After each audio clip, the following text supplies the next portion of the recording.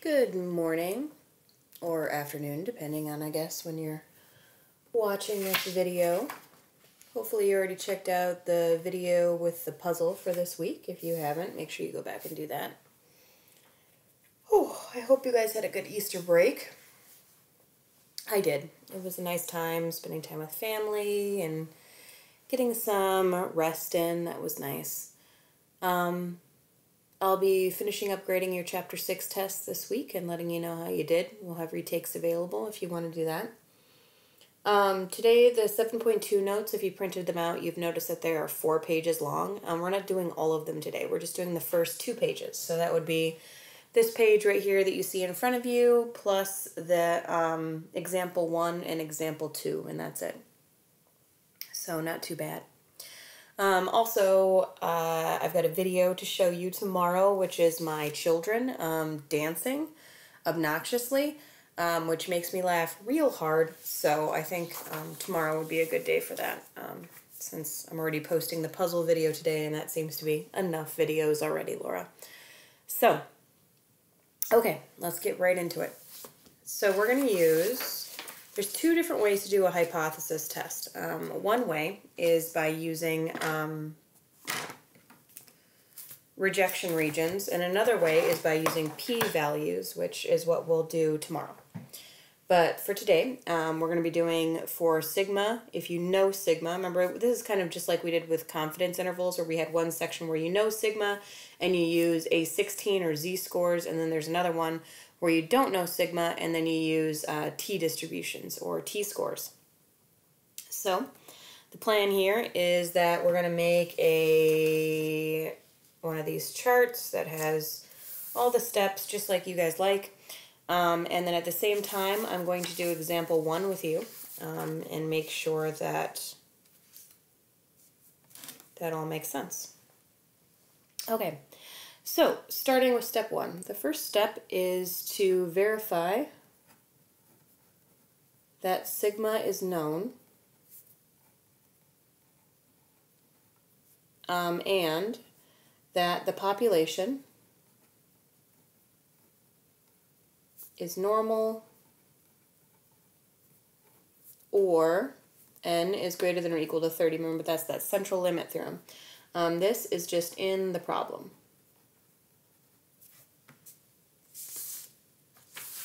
All right, make sure you pause the video if I'm going too fast so that you can see the notes. So in example one,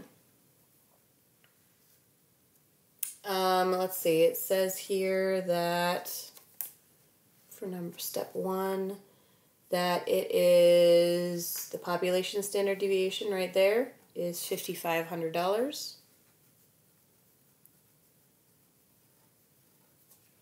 And it says that it's normal. Right there.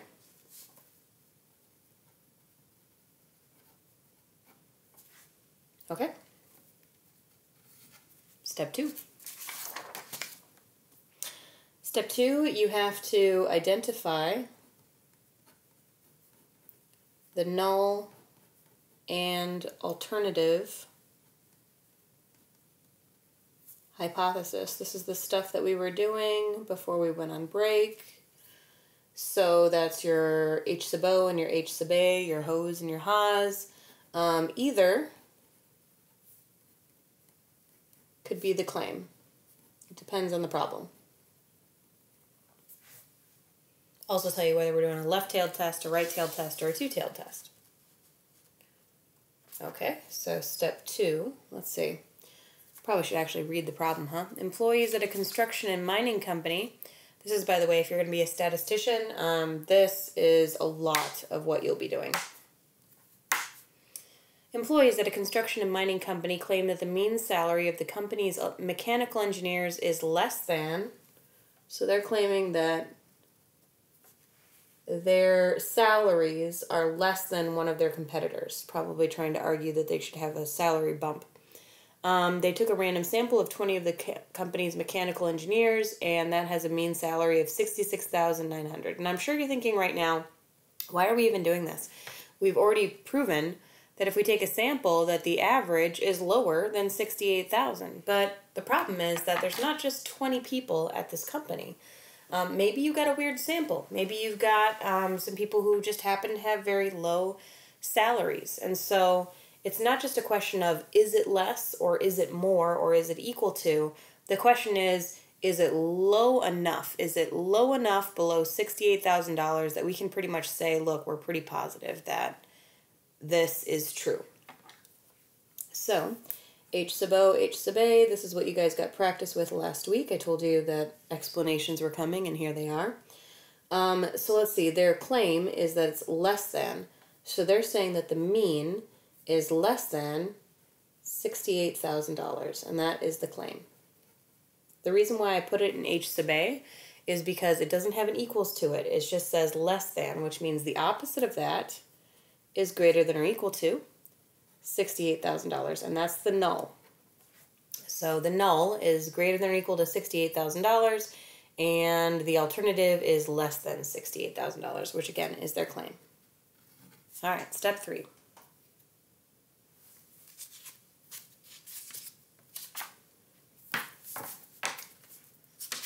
Okay. Step three is to um, identify the level of significance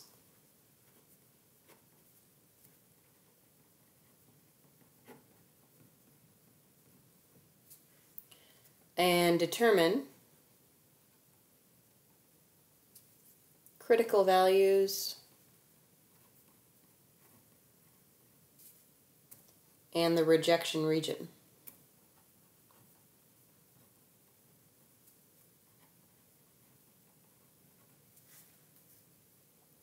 Okay.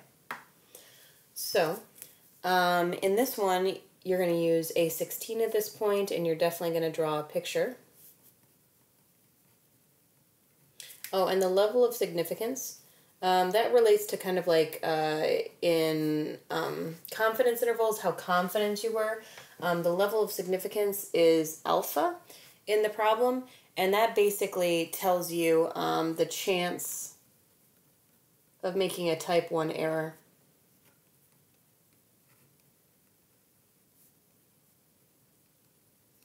A mistake. So like the lower the alpha is, um, the more certain you are that something's going to happen. So you might say, okay, uh, if my alpha is 0.01, that means I'm 99% positive that this is true. Okay, so looking at the question itself, it says that, let's see, alpha is 0.05, which means that you are 95% confident that this is true. And then draw a bell curve. All of these are going to have you draw bell curves. That's what I meant by a picture. Ooh, that's a perfect picture. Beautiful bell curve. I wouldn't change it if I could. Um, okay, so the H sub A, that's always the tail. Remember, this is the tail. That's what we did uh, last week. So less than is over here on the left. Here's the tail. This is a left-tailed test.